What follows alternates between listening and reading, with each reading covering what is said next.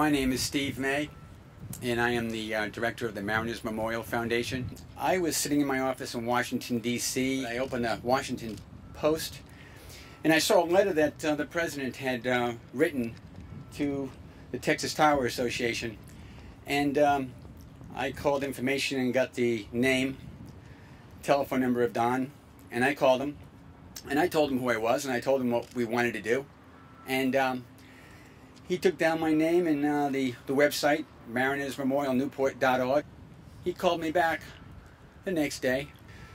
Steve, uh, I uh, got a little problem. And I said, well, what's that, Don? I told you we, we take care of you, these 32 people. He says, we, we got another 50. I'd like to thank Mr. Abbott for sending me an email so that I could get up here for this because it means a lot to me. Name is John Loftus. I'm a retired tech sergeant. I was stationed at Otis Air Force Base at the time of the loss of all three airplanes. I will read a summary of each of the uh, aircrafts and the numbers, uh, names of the crew members. At 1830 Eastern Daylight Saving Times on the 11th of July 1965, the aircraft commander of crew number 27 briefed an air crew of 19 for an active air defense mission to Air Station 2, Homie 63, an EC-121H, serial number 550136, was assigned by Wing Operations Center. Fuel load, 6,600 gallons. The DD form filed by the aircraft commander listed 11, uh, 11 hours and 30 minutes fuel on board. Estimated time was 9.20 and 7.45 on station at flight level 15,000 feet.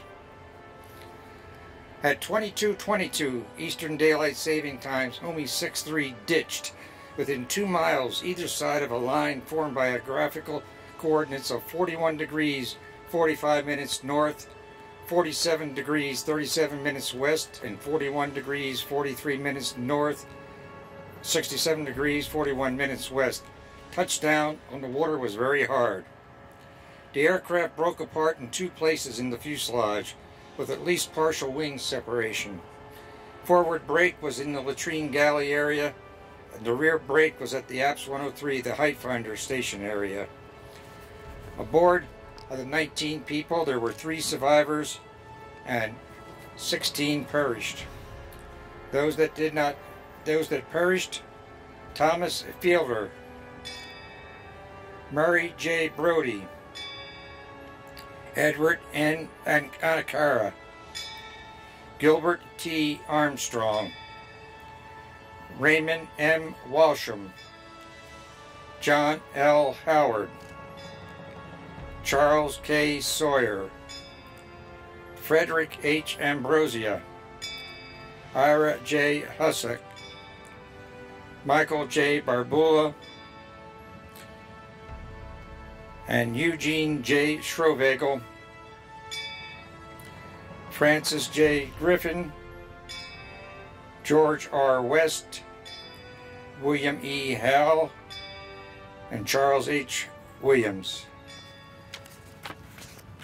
The second aircraft was scheduled for a flight 10th of November 1966. Major Baird, aircraft commander, assigned to the 961st Airborne Early Warning and Control Squadron, Otis Air Force Base, Massachusetts, briefed an air crew totaling 19 for an active air defense mission to Airborne Long Range Input Station 2, Homie 64, an EC-121H, serial number 555262, was assigned by the 551st AEWC Wings Operations Center. Fuel load was 7,330 gallons. The DD form listed a flight plan filed by the aircraft commander 12 plus hours of fuel on board, estimated time en route 9 hours and 50 minutes, with 8 hours and 5 minutes on station 2 at 15,000 feet. At approximately 0120, an ops normal reported 15,000 feet over station 2 was called into the SAGE Center. At 126 Eastern Standard Time, an aircraft later identified as Homie 64 by the first mate of fishing vessel Stephen R. passing overhead at approximately 200 feet in the northeast by due north direction. The aircraft appeared to be in level flight, navigation lights on and emitting smoke or a vapor trail. Two miles beyond the Stephen R, the aircraft pressed, passed directly over the fishing vessel Terra Nova at an estimated altitude of 150 feet, wings level, red and green navigation lights on, and engine or engines backfiring. Engine noise to be a minimum, which gave them the impression the aircraft was small in size. The aircraft continued to pass Terra Nova for approximately three quarters to a mile, struck the water at 127 Eastern Standard Time. An explosion and fire resulted. All 19 people were deceased.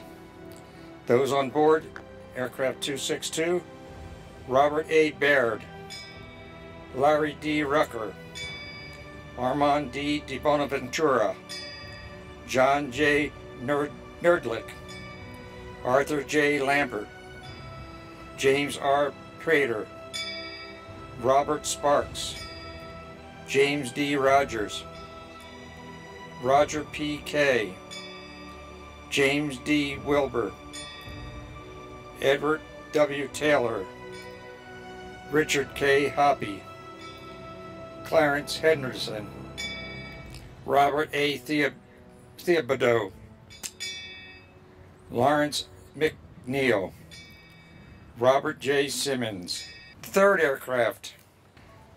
At 7.05 p.m. Eastern Standard Time on April the 25th, 1967, EC-121H, serial number 530549, crashed and was destroyed one mile south of the western tip of Nantucket Island, Massachusetts. Of the 16 crew members aboard aircraft, 15 were fatalities. One of the two navigators aboard survived, sustaining major in injuries.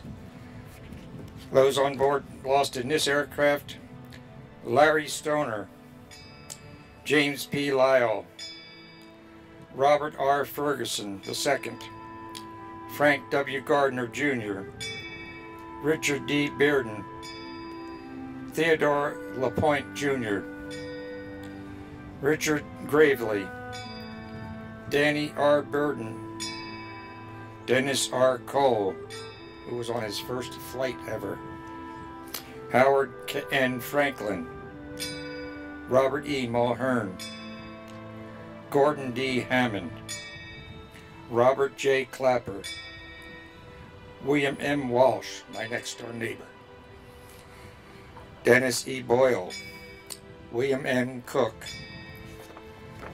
the first aircraft, the three survivors were First Lieutenant Bruce E. Witcher, a navigator. The enlisted survivors were John N. Propolo, a radar operator. The radar technician that survived, David A. Searles, who three months later was my instructor for flying. The survivor of the fourth, third airplane was also a navigator was Lieutenant Colonel Gwinnett, Gwinnett, who's still alive and well in Florida and comes to many of the reunions. Thank you very much, and may all these men rest in peace. They are my brothers, all of them, whether they were on the Texas Tower or on the aircraft. Thank you. We are proud, this association is proud to have the names of these people out here because these are true heroes. These are people who were pr protecting the coastline of the United States during the Cold War. And I think uh, they're unsung heroes. And um, we are very, very proud to have these names out here. I thank you, United States Coast Guard, and I'd like to give, like, have everybody give them an applaud for, for what they did here today. Thank you, Coast Guard.